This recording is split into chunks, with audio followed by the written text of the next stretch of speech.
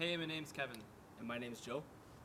and we're going to educate you on what the fortress theory is. Hey, what's the fortress theory?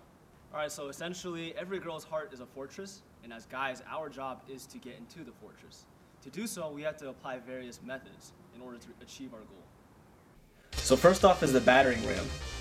This guy meets the girl and he goes home. He gets a big battering ram and tries to bust down the door. He uses the BFS approach bigger, faster, and stronger.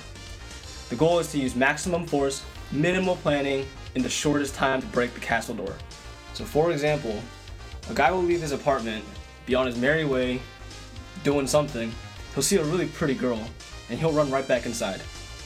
He'll grab a flower for her, maybe, maybe some chocolates, anything that will get her attention. He'll come out shamelessly and just be really upfront to her and try to get her attention.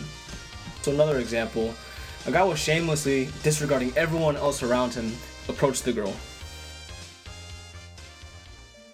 The next one is the Spoon Man, or the Digger. The Digger digs at night. He is not seen. He has a spoon and digs a little bit every night, like a Shawshank Redemption type of dude.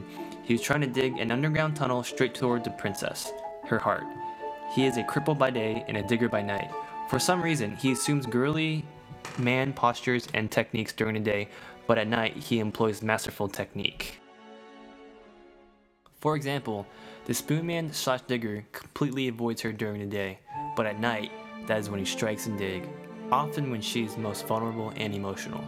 Usually by means of social media like texting and Facebook chat. He is a totally different person online, very caring and smooth talking. However, during the day and in person, he is very apathetic.